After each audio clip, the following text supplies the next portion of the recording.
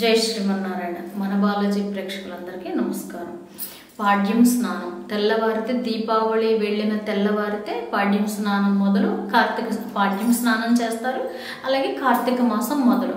అందులోనూ ఇవి ఇప్పుడు మనకి ఒక రకంగా చెప్పాలి అని అంటే ఆదివారం రోజు నాడు పాడ్యం స్నానం చేయడానికి ఇంకా అమావాస్య గడియలు ఉంటాయని కొంతమంది అనుకోవచ్చు అయినా ఏం పర్వాలేదు. లేదు నేను పాడ్యం స్నానం కేవలం నేను సోమవారమే చేస్తానమ్మా అన్నా కూడా మనం చేయొచ్చు కానీ మొదలు పెట్టడం ఎలా మొదలు పెట్టాలి అని అంటే మీరు సోమవారం చేస్తే తొలి సోమవారం కార్తీక మాసంతో మొదలైపోతున్నట్టు లెక్క మీకు.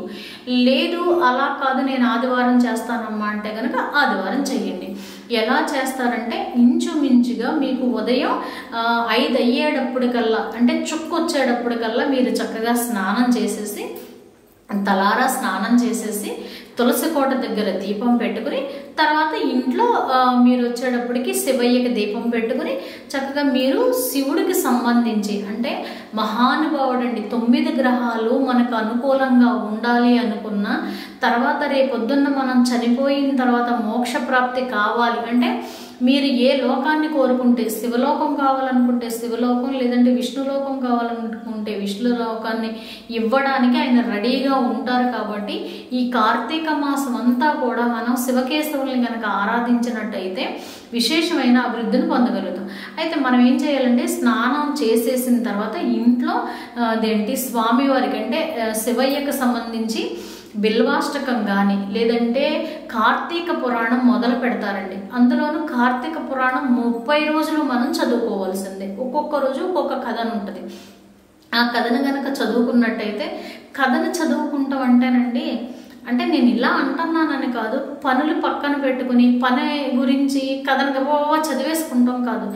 మీరు ఆ కథ చదివేటప్పుడు అవతల వాళ్ళు ఎంత అందంగా ఎంత ఆర్తితోటి స్వామిని సేవించుకుని స్వామిలో లీలమైపోయారు అన్నంత ప్రేమతోటి మనకి ఈ జీవితాన్ని భగవంతుడు ఎందుకు ఇచ్చాడు అంటే భగవంతుడిని కళ్ళతో చూస్తానికి తర్వాత వాక్కుతోటి పలకటానికి మంత్రం ఉచ్చారణ చేయడానికి జపం చేయడానికి శరీరాన్ని మనం వాడుకోవాలండి. భగవంతుడిని సేవించడానికి. మళ్ళీ ఎప్పుడొస్తుందో ఈ మానవ జన్మ. కాబట్టి మనకు తెలియదు ఇప్పుడు ఇచ్చారు కాబట్టి ఈ భగవంతుడిని ఇప్పుడు కార్తీక మాసం చాలామంది అంటారు చూడ చూడండి జన్మకో శివరాత్రి అంటారు. అలాగే ఈ కార్తీక మాసం దాటిపోయింది అనుకోండి మనకు వచ్చే సంవత్సరానికి ఏమో ఎలా ఉంటామో చెప్పలేము. మనిషి జీవితం అనేది బుడగ నీటి మీద బుడగ లాంటిది కాబట్టి కార్తీక పురాణం చదివితేనండి చాలా చాలా చక్కటి అదృష్టాన్ని సంపాదించుకుంటాం. కార్తీక మాసంలో చేసే స్నానానికి కూడా చాలా చాలా ప్రత్యేకత ఉంది. అందులోనూ కార్తీక మాసంలో మనకి నేను చెప్పాను కదా ఆకాశ దీపం చూస్తే చాలా పుణ్యం అండి చాలా మంచిదండి. ఇలాగనమాట. మీరు కార్తీక మాసం మొదలు పెడతాను అంటే మీ ఇష్టం అండి. నేను కాదనట్లేదు. ఎందుకంటే తిథి లేదు కాబట్టి. ఆదివారం అయినా మొదలు పెట్టుకోవచ్చు సోమవారం అయినా మొదలు పెట్టుకోవచ్చు. చెయ్యండి. కానీ ఇక్కడ నుంచి నెల రోజులు చేసేవాళ్ళు తెల్లారేటప్పటికి ఐదింటికల్లా పూజ అయిపోవాలి. చుక్క ఉండగానే దీపం పె తులసమ్మ దగ్గర దీపం పెట్టేసుకోవాలి. తర్వాత ఇంట్లో దీపం పెట్టుకుని చక్కగా బిల్వాష్టకం చదువుకోవచ్చు. తర్వాత అదేంటి అస్- పంచాక్షరి మంత్రాన్ని చదువుకోవచ్చు. తర్వాత ఒక్కొక్క రోజు కార్తీక పురాణం ఒక్కొక్క కథ చదువుకోండి.